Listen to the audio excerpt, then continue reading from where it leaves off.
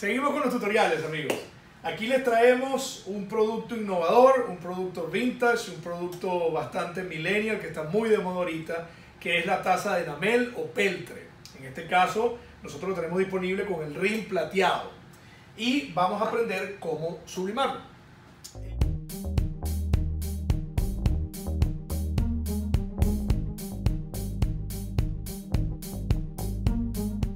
Eh, los parámetros que vamos a usar son 180 grados a 120 segundos. Son los parámetros que vamos a hacer. Yo tengo aquí mi arte ya impreso con nuestro papel Tineg y nuestra tinta Tineg y vamos a setearlo acá, a centrarlo aquí, siempre eh, fijándonos por el asa. Lo ajustamos un poco con cinta térmica y vamos a sublimarlo. Nuevamente 180 grados, 120 segundos. Esta taza tiene la particularidad que tiene un filo, ¿no? un, aro acá arriba y eso tenemos que dejarlo por fuera para no eh, dañar la presión de la taza.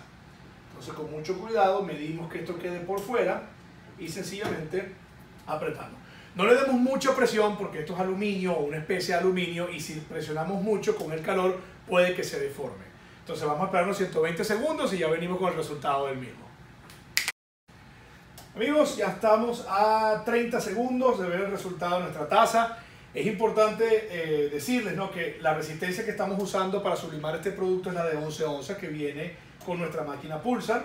Y eh, nuevamente recordándoles que siempre las impresiones tienen que ser en modo espejo, eso es muy importante. Este producto se está usando mucho ahorita en estas conferencias motivacionales que, que están haciendo por todos lados. Siempre dan un detalle, siempre dan una agenda, dan un, algún detallito, este producto es perfecto para ese tipo de cosas.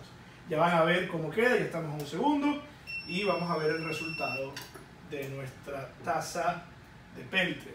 Esto sale muy caliente, incluso el, el, la asa se pone muy caliente, así que agárrenlo con cuidado. Incluso cuando van a destapar aquí, es importante hacerlo con mucho cuidado para no traerse la pintura. Vamos a hacerlo aquí con cuidadito rasgamos de un lado y después nos traemos el resto.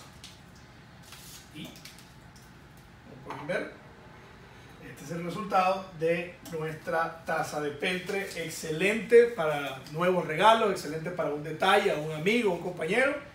Es un excelente regalo. Espero les haya gustado el documental y seguimos en un próximo programa.